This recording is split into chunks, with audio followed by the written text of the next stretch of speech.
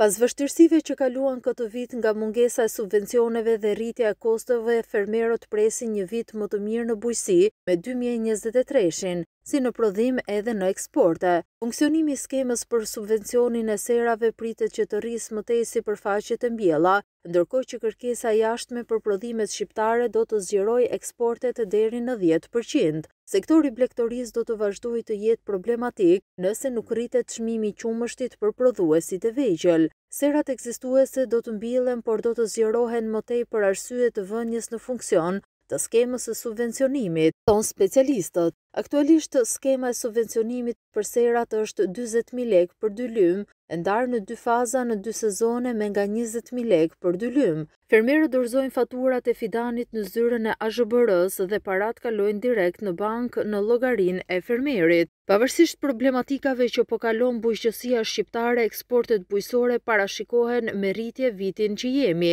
Në vitin dy mijë e njëzet e tre pritet që të rriten eksportet në masën e dhjetë për qind për disa arsye, nga rritja e sipërfaqeve të serave, por edhe nga rritja e prodhimit të disa pemëve frutore. Ndryshe nga degët e tjera blegtoria do të kalojë një situatë të vështirë edhe për vitin dy mijë e njëzet e tre.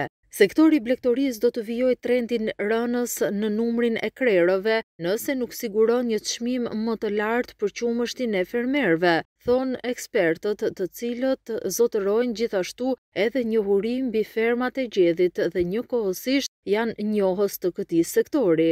Ata thonë se numri i bagëtive do të pësojë rënie në disa fshatra, të cilët e shesin një litër qumësht me më pak se njëqind lekë.